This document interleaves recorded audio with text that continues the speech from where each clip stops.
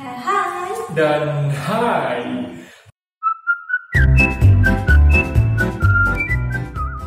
Hari ini kita akan ngebahas sesuatu yang akan membantu teman-teman untuk bisa menjaga semangat. Motivasi juga Ya benar. Motivasi dengan semangat beda nggak sih?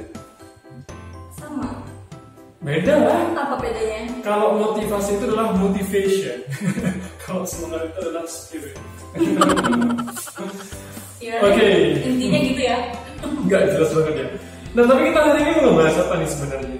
Hari ini ngebahas gimana caranya biar gak em, gak cepat malas atau tetap semangat buat belajar, tetap termotivasi Hmm. buat belajar. Apalagi buat kalian yang eh, sekarang lagi di rumah aja ya. Ya, em, di rumah aja udah bikin bosen, apalagi belajar sama harus di rumah terus gitu. Sendiri. Ah, pasti bakal bener-bener apa ya kayak ngerasa gue belajar tambah bener sih gitu kan. Aku banyak yang nerima curhatan dari teman-teman Kayak gimana? apaan mas katanya "Eh, nggak enak belajar tuh malah yang ada tugas online bukan belajar online gitu. Oh jadi tugasnya banyak gitu. banyak terus katanya Terus nggak, eh, Hmm. maksudnya kita nggak dibimbing secara langsung sama dosennya atau gurunya. eh, Jadi kita benar-benar harus eh, apa tuh kalau belajar di rumah harus benar-benar punya self regulation yang bagus. Apa sih self regulation? eh, jadi kita tuh harus mempunyai semangat dalam mengatur diri kita agar kita bisa belajar walaupun tidak ada yang mengawasi Betul. terus walaupun eh, apa ya dalam keadaan yang sangat malas jadi itu adalah self regulation bagaimana kita bisa mengatur diri kita agar kita bisa belajar walaupun Tanpa ada guru, hmm, tanpa ada apa? Kelas, tanpa ada kelas tanpa ada teman tapi kita bisa belajar belajar sendiri ya. Ya. Jadi eh, itu bisa dinamakan apa? self regulation self motivation Biasanya kalau orang yang udah eh, punya self Oh, aku tahu. motivation, autonomous learner iya. Gitu. jadi kita bakal bahas bagaimana sih biar teman-teman kamu bisa jadi, orang yang autonomous gitu. Nah, kita punya secara umum ada beberapa tips nih. eh, ada sekitar lima tips buat Lima kalian. tips yang akan kita bagi kepada kalian agar kalian belajarnya tambah uhu banget. Meskipun di rumah selama berminggu-minggu, berbulan-bulan. Iya, tetap bisa. Jadi penasaran kan? Yuk, check it out. Oke, yang pertama apa nih? Em, yang pertama itu uh, kita setting goal. Setting goal dulu. Ya. Jadi strategi yang pertama yang bisa digunakan adalah setting goal. Gimana kok? Jadi setting goal ini kita kayak merumusin tujuan dulu, bisa per hari atau enggak eh, tujuan akhirnya apa, Hmm. sama tujuan per harinya itu apa gitu. Oke, kenapa belajar butuh tujuan? Karena kalau nggak ada tujuan, eh biasanya kita kayak ke mana-mana, kita hilang fokusnya gitu dan kita bingung mau belajar apa gitu. Karena saking dari saking banyaknya pelajaran, mungkin dari saking banyaknya tugas, kita jadi bingung mana dulu yang harus diselesaikan, mana dulu yang harus dibuktikan gitu.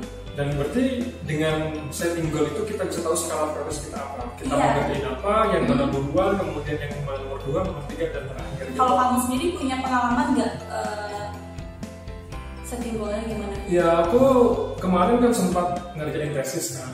Iya. kayak dan tesis itu ini banget, benar-benar nguras tenaga banget. Tenaga, pikiran, dan segala macam. Dan eh, kalau kita nggak pinter ngatur waktu, itu kita bisa keteteran dong. Nah akhirnya aku buat kayak semacam timeline gitu kan. Jadi hari ini aku harus ngerjain apa aja. Aku catat benar-benar catat di sticky note dan aku selalu bawa sticky note itu. Kalau nggak sticky note minimal di HP, di WhatsApp gitu. Jadi yang memang ada grup khusus untuk hanya sekedar eh, mencatat apa sih goal aku hari ini gitu. Nah jadi setiap goal itu selesai aku tentang tentang warna hijau gitu. Dan kamu juga eh, nge-stay tujuan akhir kamu. Misalkan eh, kamu pengen lulus Desember kemarin ya. Iya benar. Pokoknya nggak mau nggak mau lulus duluan Desember ya. Ya, akhirnya kita otak kita jadi tersetting gitu. Iya. Oh, berarti aku harus lulus Desember nih. Berarti aku harus begini. Iya. gitu kan. Per harinya kita harus ngapain? Ya, kita harus belajar tiap hari berapa jam, jadi kita Hmm. benar-benar tahu. Karena kita punya setting goal. Aku sebenarnya punya ini loh, punya semacam analogi gitu. Gimana? Jadi ba- bayangkan kalau kita hari ini enggak malam nih iya terus besok kita ujian. Iya. Pasti kita kan belajar kan belajar mati-matian malam harinya karena besok jam 8 misalkan kita mau ujian. Hmm. pasti kita belajar mati-matian sampai malam. Nah ternyata kita kesiangan. Anggaplah jam 7 ya kan? Pasti kita akan langsung bangun mandi walaupun tanpa sarapan kadang langsung berangkat. Dengan segera. Kenapa? Karena kita tahu ada tujuan hari itu. Hmm. karena kita mau ujian. Tapi bandingin kalau hari minggu pasti walaupun bangun nih lihat jam. bangun oh, hari ini kita nggak bakal ngapa-ngapain gitu. hari ini mau ke mana ya? Layan-layan dulu. Nah ngomong-ngomong aku juga punya cerita nih. Kayak gimana? Eh, jadi waktu itu aku lagi ini hubungannya sama beasiswa ya? Ya jadi aku lagi persiapan TOEFL nih. Hmm. Eh, aku nyiapin TOEFL tuh waktu pokoknya yang fokus itu setelah wisuda S1 Hmm. dan di fokusnya tuh tiga bulan Januari Februari Maret gitu kan ya? Ya nah aku tuh pengen eh, bisa tes Maret ya terus? Nah eh, nggak Maret sih sebenarnya Januari karena ketinggalan jadinya Maret nah akhirnya aku punya waktu tiga bulan buat eh, belajar sungguh-sungguh. Hmm. nah aku tuh belajarnya tuh eh, kayak misalkan sehari seharinya itu aku nyelesain dua exercise gitu. Hmm. jadi kan di TOEFL itu ada yang structure itu ada 60 sekitar 60 skill gitu. Hmm.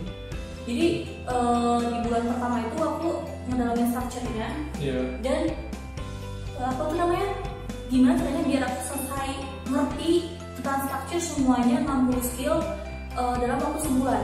Oh, nah itu caranya perharinya tuh aku eh, kan sebulan ada 30 hari nih. Hmm. jadi perharinya tuh aku nyelesain sampai pahamin dua exercise itu dua skill itu gitu. Jadi kalau misalkan sebulan berarti itu semuanya aku kuasain gitu. Nah baru bulan selanjutnya eh, listening dan reading se- sebagainya gitu benar jadi dengan punya tujuan seperti itu dengan punya goal itu kita bisa berkomitmen ya kan yang Iya. pertama yang kedua semua hal yang mendukung Hmm. kesuksesan goal itu atau semua hal yang mendukung kita untuk sampai ke tujuan itu akan terlihat gitu Hmm. contoh nih misalkan ambil sederhana gini Apa? kalau kita itu nggak biasa laundry nyuci Oh, nyuci iya. baju tuh, pasti kita nggak hafal di mana letak eh, toko laundry. Hmm. toko laundry gak sih? Tempat laundry. Ya masa toko sih? Tempat laundry kita pasti Iya. kita nggak kenal gitu. Cuman kalau kita orang yang suka laundry nih Hmm. pengen laundry pasti kita kenal oh ini laundry di sini oh ini laundry di sini. Kenapa? Karena dalam pikiran kita kita tuh punya tujuan bahwa Oke. kita mau laundry gitu. Nah sama kayak gitu, kalau kita punya tujuan, maka pikiran kita akan notice hal-hal eh, hal-hal yang mendukung kita untuk sampai ke tujuan. Jadi kesimpulannya apa? Kalau kalian nggak dinotis sama orang yang kalian suka, berarti kalian bukan tujuan. Wow. Sakit ya. oke lanjut lagi yang kedua Lanjut ya. yang kedua apa kamu tahu nggak Oke, ini? yang kedua nih, oke kan gini. Yang kedua itu kadang kita itu merasa eh, bosan. Bosan kan ya? Hmm.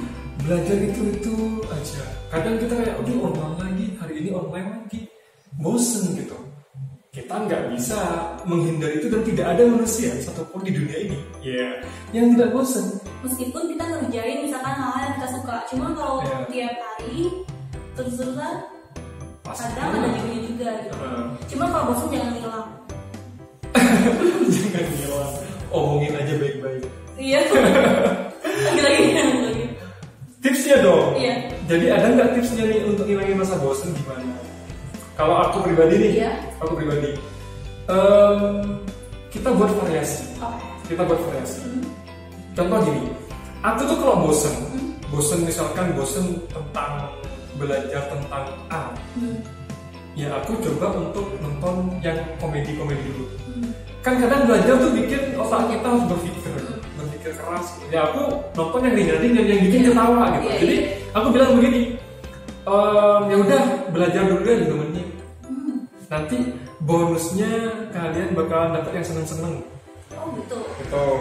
Jadi em, aku alihkan rasa bosan itu dengan cara diobati ya dengan hal yang menyenangkan. Various jadi ada rewardnya. Ada rewardnya. Kamu gimana kalau aku sendiri aku konteksnya ke TOEFL lagi ya Iya. jadi, jadi waktu itu pas aku belajar TOEFL kan itu kayak eh, terus aja gitu ngisi ngisi kan Hmm. agak lumayan bosan juga Iya. nah akhirnya aku download eh, game game vocabulary itu Hmm. jadi akhirnya kalau misalkan aku istirahat istirahatnya itu Oh iya iya paham paham. jadi eh, nggak apa meskipun istirahat aku tetap punya kosakata baru terus yang kedua aku eh, ngedengerin musik dalam bahasa Inggris. Oh, meskipun aku nggak belajar tapi tetap aku dapat kosakatanya yang ketiga aku biasanya eh, nonton film bahasa Inggris selama tiga jaman gitu lah istirahat jadi dalam satu aku punya waktu TOEFL tuh 10 jaman. Cuman tiga jam itu eh, aku alokasiin buat apa nonton gitu.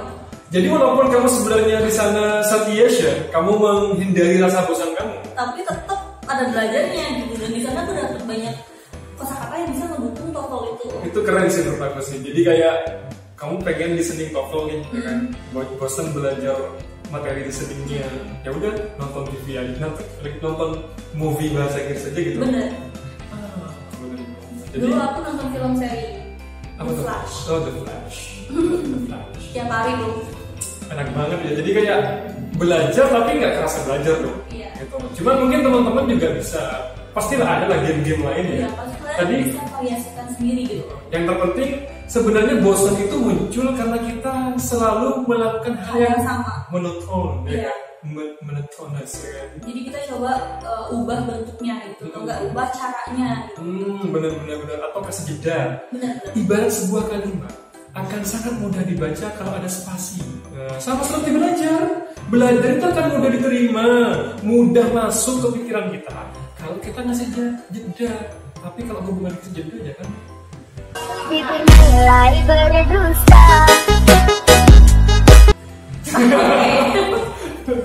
Lagi yang Oke, apa lagi? Kamu punya strategi lain nggak? Jadi yang yang kedua adalah kalau kalau bosan ya, kalau bosan kita variasikan aja. hmm, yang ketiga itu kayak bersiap-siap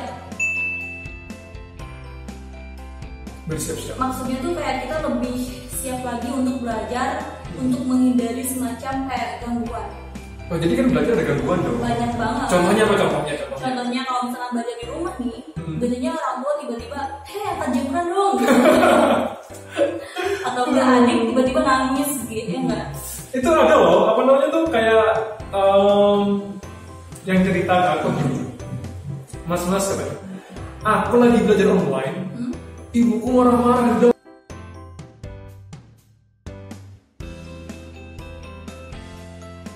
nah tadi kamu cerita nih ada teman-teman yang curhat gimana Jadi gini, kan lagi online ya Kami sama namanya Hmm. Mak, aku mau belajar online. So, gitu kan. So, so, gitu katanya mamanya kan ya. Hmm. Terus mamanya mungkin main HP terus, di depan laptop terus, belajarnya gitu kan ya.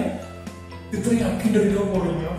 gimana gimana Woi, katanya mau belajar, kok depan HP terus, mana belum mandi, mandi dulu katanya. Padahal dia lagi telekonferensi apa namanya sih kayak belajar di Zoom gitu loh. iya sama teman-temannya Sama teman-teman, sama gurunya sama dosennya. dan ibunya teriak nyuruh dia mandi belum mandi mandi mau pagi kan Gitu. Mandi dulu sama main HP terus katanya. atau enggak bisa ada adiknya yang eh, ngajakin main atau enggak adiknya yang nangis-nangis selama masa kecil misalkan bisi terus lagi itu kan kalau gangguan dari orang orang ya. Hmm. cuma kadang eh, ada hal-hal yang ngeganggu kayak berisi kayak misalkan apa tuh namanya? Kalau waktu itu pas kita belajar terus berisi itu apa? Orang lain, bukan bukan. Yang kayak bangun-bangunan itu bangunan-bangunan dari benda. iya Iya terus kenapa? Iya maksudnya kita harus menghindari itu gitu kita harus siap-siap gitu Oh iya. atau ada tetangga yang suka berisik misalkan jadi kita eh, gimana sih caranya biar siap-siap menghadapi itu gitu Oh, I see, paham. Jadi kita itu harus bersiap segala kemungkinan distraction atau gangguan yang mungkin dihadapin ketika kita mau belajar. Benar banget. Nah, kalau kamu biasanya gangguannya apa nih apa ya? Tuh, lu, lu, lu, lu. Biasanya ada yang di scroll scroll gitu loh. Ya biasa, bang. Mungkin kan sering di scroll. pas lagi ini kan lagi extensive listening aku nih kan Iya. jadi kan suka banget nih dengerin uh, podcast podcast podcast yang bahasa Inggris gitu kan sambil lu belajar kan bahasa Inggris kayak gimana nangis Colin lulu lulu lulu lulu itu kayak konsentrasi buyar terus juga Lupa lagi kesedihan. sampai mana. iya gitu ya akhirnya bagaimana mau nggak mau ya harus di off kan tuh Nah, aku juga sama tuh HP tuh kayak gangguan terbesar banget kayaknya buat kayaknya bukan cuma kita aja deh, tapi Hmm. buat kalian juga mungkin Iya. eh, suka kadang misalkan nih kalau HP di depan yang aku belajar ah gitu Iya. pas mau belajar eh kayaknya aku buka IG dulu deh dua menit aja gitu Iya.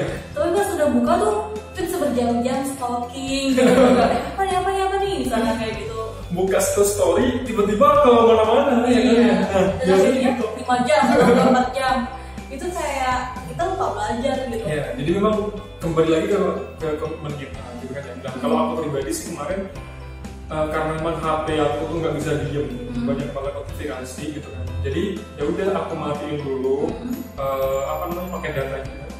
Hebat juga kan.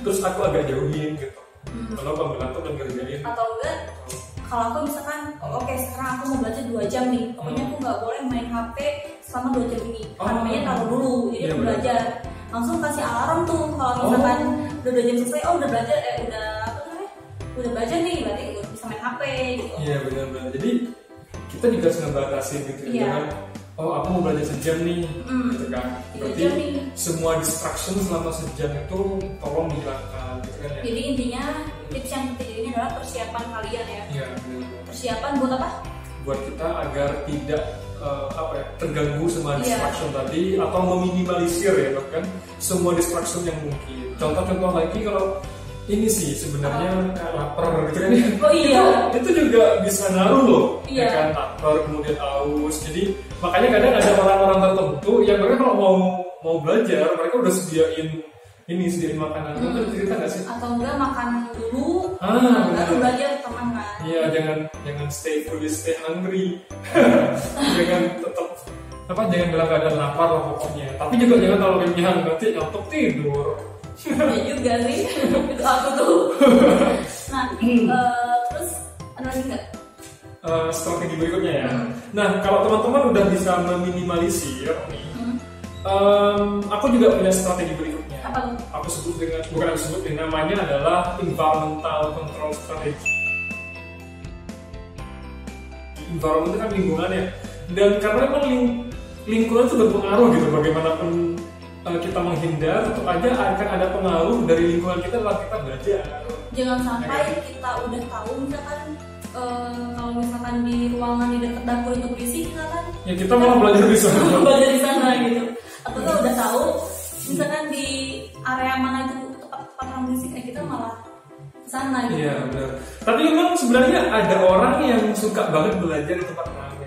Ada kayak gitu. Jadi kalau di tempat ramai kayak bawaannya kayak santai aja. Soalnya kalau dia di dalam kamar biasanya Blank. jadi stres banget gitu. ada kan. yang kayak gitu Ada yang kayak gitu. Cuman ya enakin aja gitu. Kalian tipe orang yang belajar di tempat ramai atau di tempat sepi atau di dalam kamar karena memang orang beda-beda nggak bisa kalian oh kayaknya lebih baik di kamar deh nggak bisa gitu Hmm. kalau aku pribadi ini tipe orang yang kalau belajar di kamar itu bisa fokus banget dan bisa nyelesain banyak hal. Kalau kamu gimana? kalau aku sebenarnya lebih suka di nggak apa sih di kamar Hmm. cuman yang penting dingin Oh gitu ya. dingin terus dengerin musik gitu Nah berarti itu termasuk juga environmental dong. Berarti Iya. kamu harus memastikan dulu apakah eh, ruangan yang kamu tempati itu eh, cocok buat kamu dalam segi suhu pencahayaan dan kondisi ruangannya Iya. gitu kan. Nah, atau kalau misalkan sebenarnya aku lebih suka kayak di kafe gitu iya. Iya belajar jadi Oh. eh, kayak abis itu sambil sambil main gitu sambil ngapain gitu cuma kan karena sekarang lagi gak memungkinkan ya udah gitu gimana senyamannya kita aja gitu Iya. gimana biar nyaman gitu Termasuk posisi kalian duduk gitu kan ya. Iya. Itu bikin enak aja. Apakah kalian suka gender? apa rebahan apa rebahan misalkan saya tanya aja kalian dan itu termasuk ke bagaimana lingkungan nantinya berpengaruh pada kalian ya? Hmm.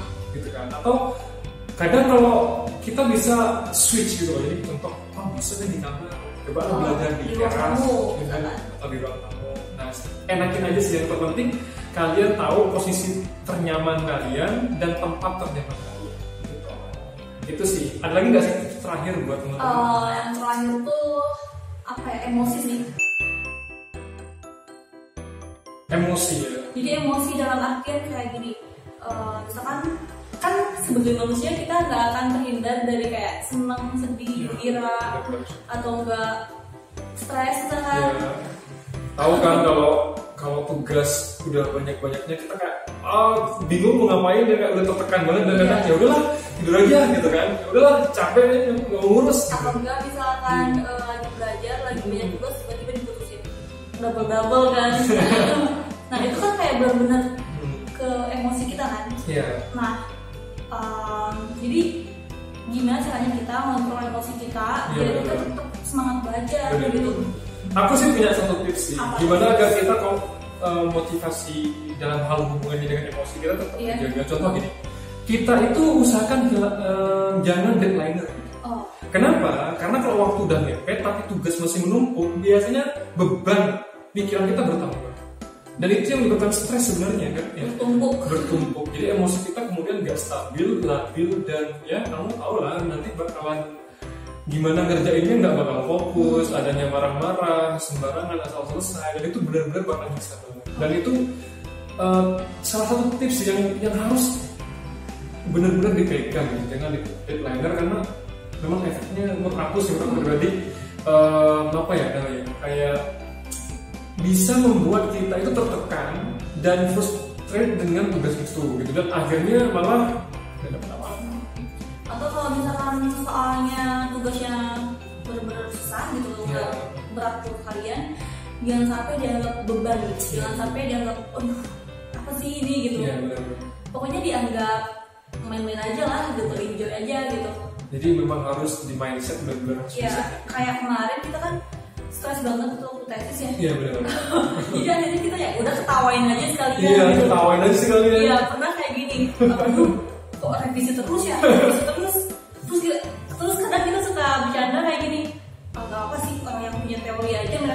selalu revisi teorinya ya enggak? Iya. Apalagi kita ya enggak? Iya, santai aja gitu revisi santai aja. Terus eh, Apa? penting juga loh kadang ngobrol sama teman kayak Iya. teman-teman kadang punya cerita juga maksudnya kayak dalam tanda kutip kayak tekanan mental juga dengan tugas itu dan ketika bercerita Eh, itu malah timbul ketawa ya Iya. ya kan ya Kadang Nah, mungkin kalian bisa Iya. telepon sama teman kalian cerita gimana sih kalian sekarang gitu. Iya. Teman-teman kalian gimana? Oh kemarin kan kayak udah ngerasa paling stres di sedunia. kayak aduh gimana nih? Gitu. kayak udah gak ada jalan banget ya? Kayak udah dalam itu nah pas tiba-tiba kita ketemu teman terus Iya. kita ngobrol-ngobrol aduh ternyata ada yang lebih susah lagi gitu Iya. ya nggak sih. Dan akhirnya kesusahan itu malah kita ketawain bareng-bareng. gitu. Contoh contoh contoh ini. Ini aku disuruh revisi ini. Katanya kurang bagus lah menurut aku ini udah paling bagus. Banget. Nah itu sih. Jadi memang emosi itu bagaimanapun benar-benar mempengaruhi kita dalam mengerjakan. Jadi tetap jaga emosi, emosinya tetap pikirannya Uh, positif jangan jangan sebenarnya jangan dianggap negatif Iya. gitu Terus ini sih kan ada orang yang bilang gini, Hmm. aku aku katanya kalau lagi deadline Hmm. itu biasanya bakal semangat atau the power of kepepet. iya iya iya. Ada tipsnya sebenarnya. apa kembali lagi ke awal setting goal tadi dengan kalian membuat goal goal goal ya kan hari ini goalnya apa gol besar Iya. terus ke gol kecil kita Nah. ke gol kecil maka kalian akan seolah-olah memiliki banyak deadline Hmm. jadi deadline hari ini deadline hari ini nah akhirnya the power of kepepet kalian itu bakal keluar di setiap uh, goal setting kalian itu Iya. gitu. Justru, tapi menurut aku nih kalau misalkan kita punya goal besar, goal besar, terus kita pecah-pecah jadi kecil, Hmm. itu biasanya akan eh, tugas itu kayak kelihatan kecil. Jadi, Ah, kayak- benar-benar. jadi- jadi setiap kali kita kerjain tuh kecil. Cuma kalau kita langsung mikirin, wah, iya sih benar sih lu banyak banget nih, ini belum, ini belum, ini belum. Itu kayak Wah. kalau nggak dipecah itu kayak Kayak semuanya semua, numpuk. semua di pikiran. Betul kan ya Iya. Nah, jadi kesimpulannya ini buat tips yang kelima itu jaga emosi dan mental kalian. ya benar karena itu benar-benar bakal berpengaruh ke bagaimana kalian belajar ya apalagi nih Eh, mungkin kamu punya apa tuh saran terakhir gak buat teman-teman? um, enggak Mas. Gak ada. Nggak ada. Oke berarti cukup sekian dari kita Yeah. tadi belajar biar nggak gabut ya I think that's all for today. Thank you so much coming here. I say make the process make progress. Jangan lupa like, comment, and share ke semua orang teman kalian biar mereka tahu caranya belajar yang bikin enjoy. Nah, sekarang gini, lupa yang aku nanya. Apa Mana sih strategi yang pernah kalian pakai buat belajar? Komen di bawah ya. Kalau misalkan kalian juga punya trik lain yang berbeda keren Ya, kalian bisa share juga di kolom komentar ya siap. Kita tunggu ya. Hmm. See you. see you